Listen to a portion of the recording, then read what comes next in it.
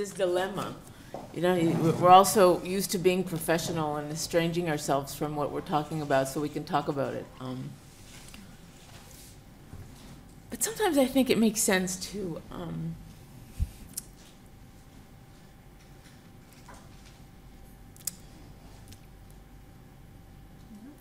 Yeah, to remember what this is all about. Yeah. sorry.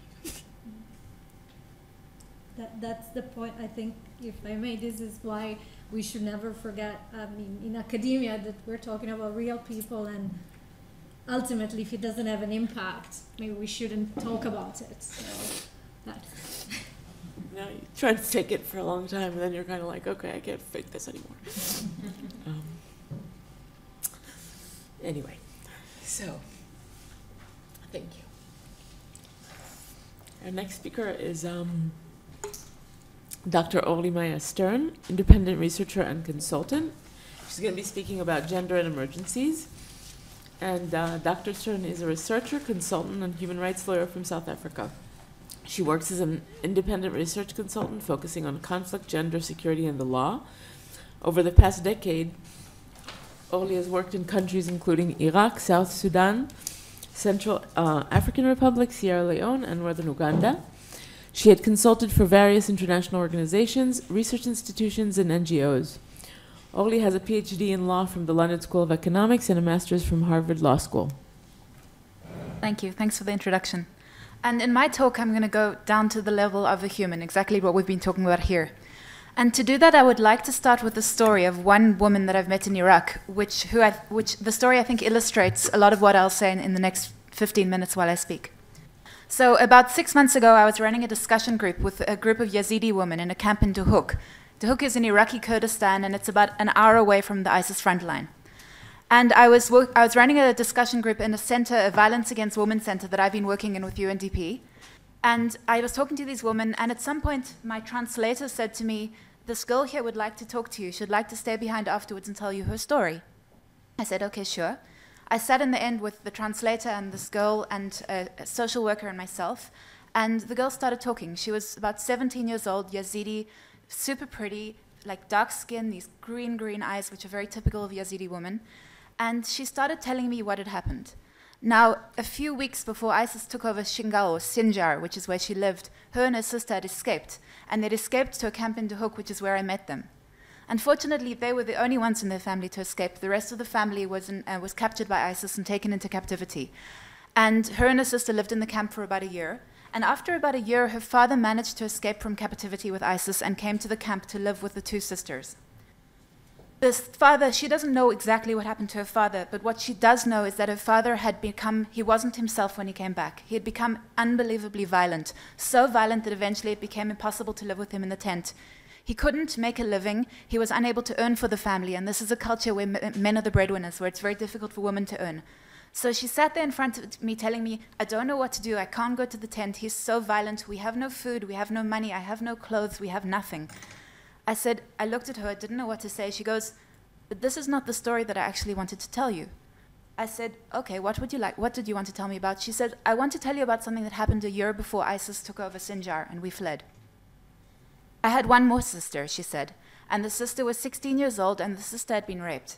And she said that the sister had fallen pregnant as, as a result of this, and the father and the brother found out that she was pregnant, and they said, This is going to shame the family. There's nothing else to be done. The sister needs to be killed. Kurdistan is a context with very, very high rates of um, honor killings. They decided they had to kill her for the sake of the honor of the family, but this father and the brother did not want to do this themselves, so they asked the sister, who's the girl that I was speaking to, if she would do this. They handed her a can of gasoline and a match, and they sent her into the next room to kill her sister. The sister, the other sister, didn't want her sister to do this to her, and she had taken matters into her own hands, so she had doused herself in gasoline. And when this girl walked in, her sister was in flames, screaming in pain. Eventually, the father came and shot the sister, and and a, a, few weeks later, uh, ISIS took over Shinjal, Singal. The whole family was captured, and then they found themselves a year later in the camp. Now, why do I tell you this story? I tell you this because I think it really clearly illustrates the thing you need to understand if you're going to look at gender and emergencies, and that's the layers. I feel like often the media talks about the one layer, the war with ISIS, the catastrophe, but they don't talk about the layer of the war coupled with the layer of traditional practices over the layer of patriarchy, over the layer of poverty. And only if you understand all these layers at the same time can you really start to get any sense of what it's about being a woman in, in, in, these, in an emergency. So, my talk is going to talk, tell you a little bit about the ways in which women experience emergencies differently. Women, have, women and men both suffer in emergencies. I'm not for one moment saying women suffer worse than men, but they do suffer differently. Their experiences are different. They have different needs, they have different vulnerabilities, they're targeted in different ways. They participate in different ways. While men fight, women participate in different ways. And so, if you really want to get a sense of how to deal, assist populations, you really need to start to get a sense of these needs. Any programming that doesn't take account of these needs can't, can't hope to, to, to deal with what it's, what it's hoping to deal with. And what I'm going to show you for the next few minutes across various different types of humanitarian programming, I'm going to show you how the gendered needs are different and how programming needs to take account of these differences, even if that particular type of programming has nothing at all to do with gender.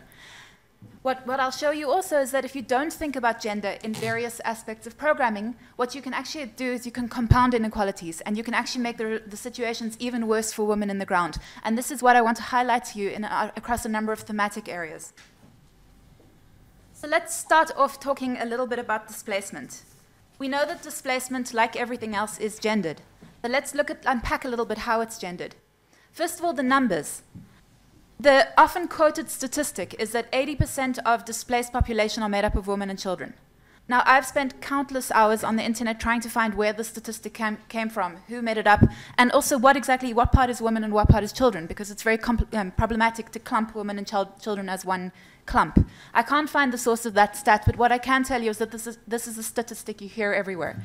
So, but what we do know is that in displaced populations, often there's a high percentage of women. Often the, the percentages of women are far higher. We're the men. How does that make sense? Well, the men are often fighting. They're recruited into armed groups, and the men are often killed. Far more men are killed in conflict. And so what you're left with often is, is women in displaced populations. We also know that women have very different experiences of displacement while they are being displaced. And let me just paint out some of the, some of the ones. Um, think about a tent. Think about people living in a, in a camp with a tent.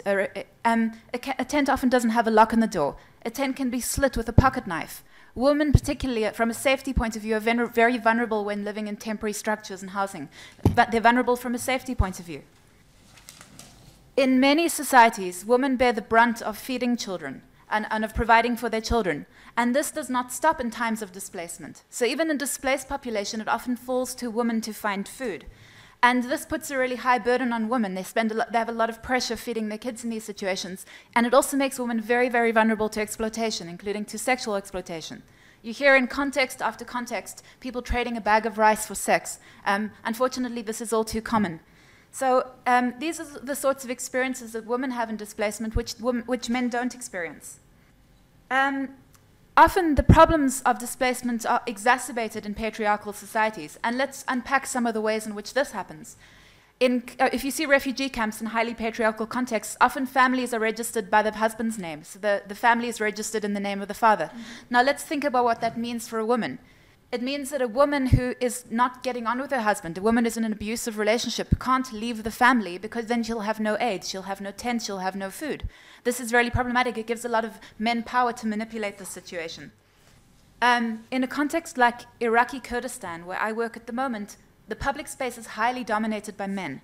Men work. If you go into restaurants, it's men who's serving in the restaurants. If you, men are the cleaners, men take up the jobs. Women, you don't see them as much in the public space. What does this mean for women trying to earn an income without men? It means it's incredibly difficult to earn a living.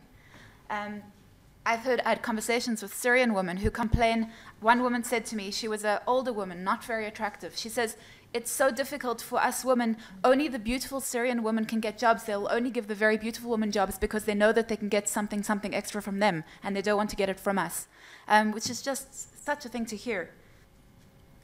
The European migration, which you've spoken about a lot today, one of the things that's really struck me in all the coverage of this crisis is that you see in visual after visual groups, uh, visual groups of men.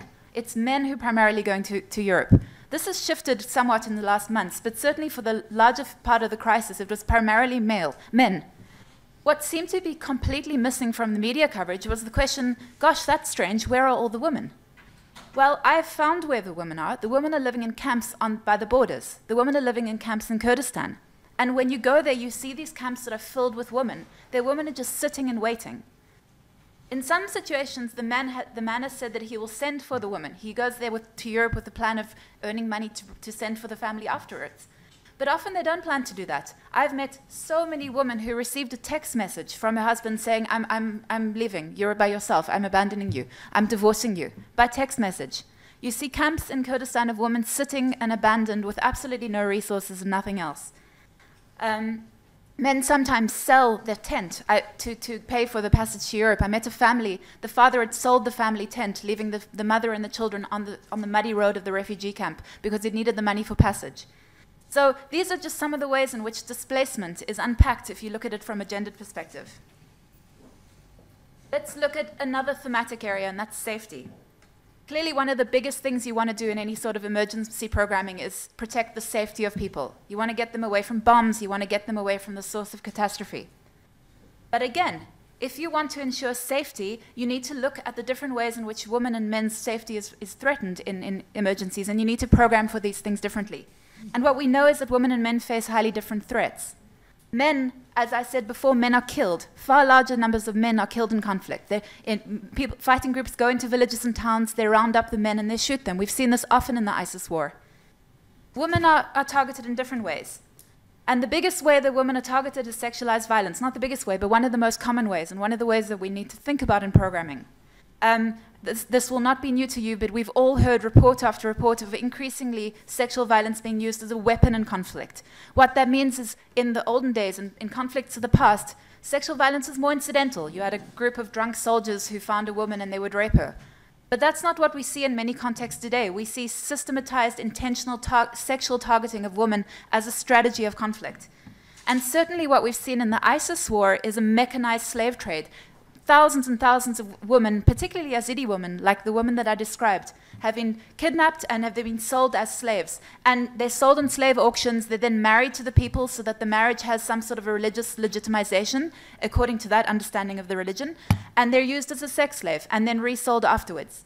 Somebody told me the other day that so far into the ISIS war, when funds are running out, the value of these slaves has become so cheap that one slave is now worth less than a packet of cigarettes. And what used to be sales for marriage that lasted about a year are now marriages lasting just a couple of days. So th this is, if you want to think about women's safety in this sort of a war, these are the sorts of issues that are affecting their safety.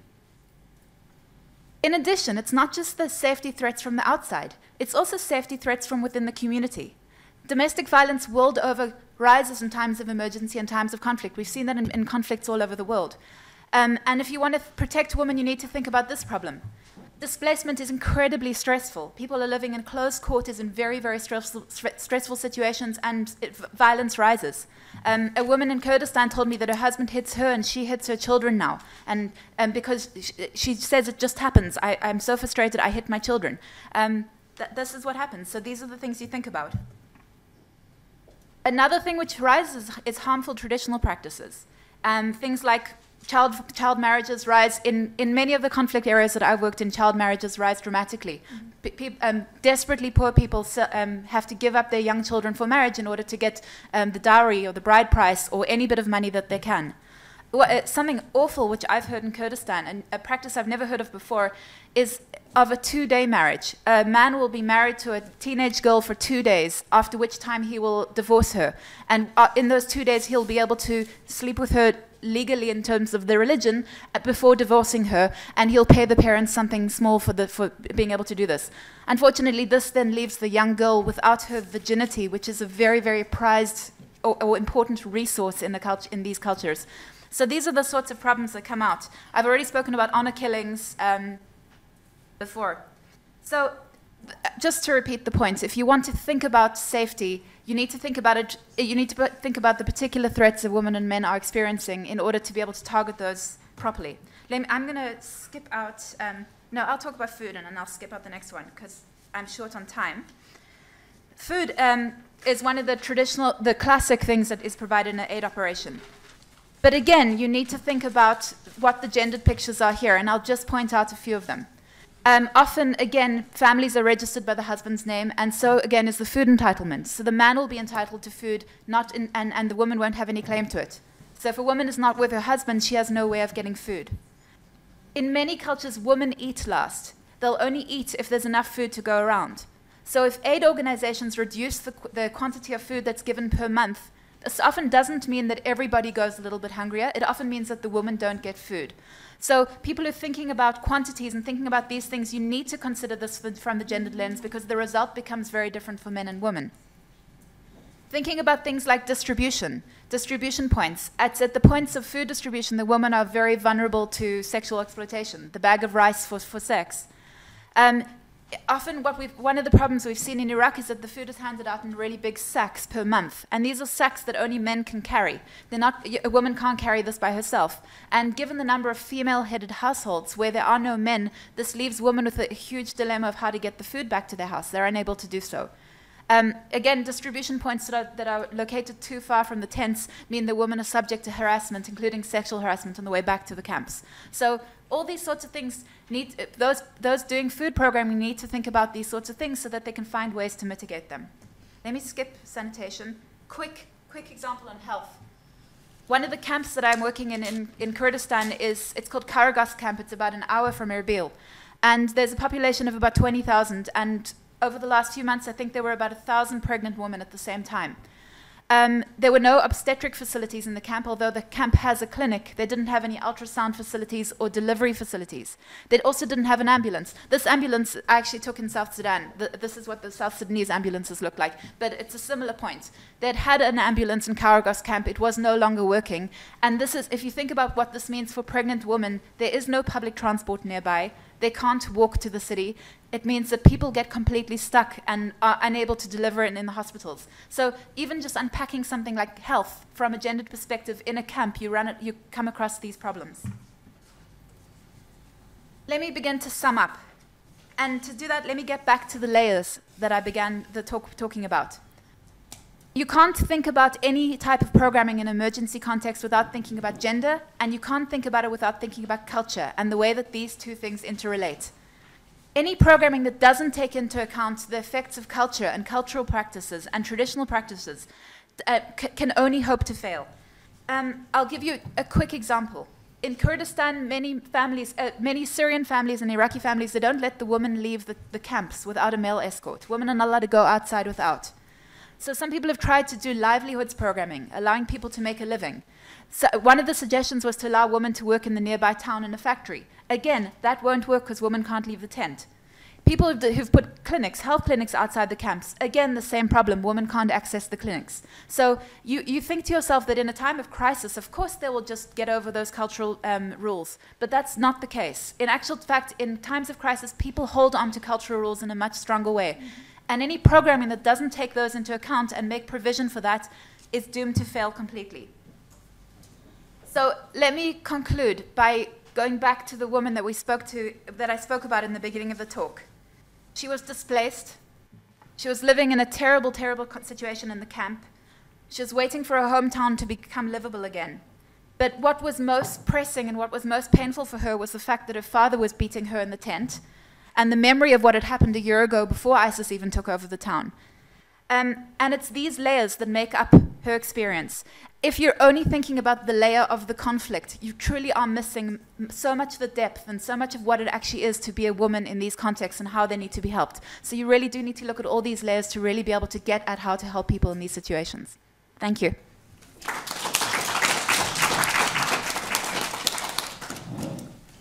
So our discussant, um, Dr. Timea Spitka, uh, she's a Sophie Davis.